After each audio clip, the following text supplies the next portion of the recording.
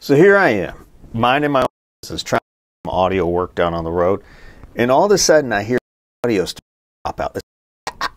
Probably hearing it on this video right now because I'm using the device, and I'm going to tell you how to fix this thing. This is using a Air with a VX2U, I think it's called, and this connects. This is an AD, an analog to digital converter, which allows me to use analog devices like this microphone in my MacBook Air. And this is actually the interface. Look, this is pretty cool, right? This thing's been great, but I thought broken. I thought maybe my microphone was. I thought maybe the drivers or something happened inside my MacBook Air after I did a software update that's making my voice drop like it probably is right now in this. But it turned out it was the stupidest thing in the world. The USB cable.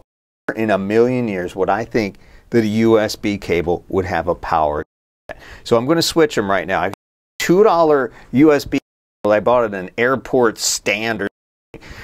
This one was like, this was like 30 USB cable. So I'm going to swap them and I think audio when I do that.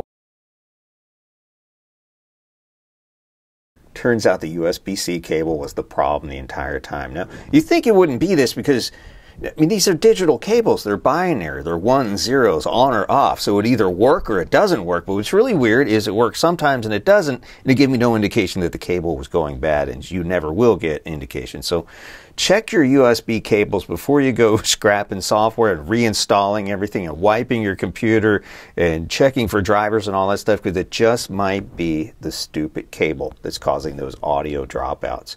Hope this helps uh, drop a like and a subscribe.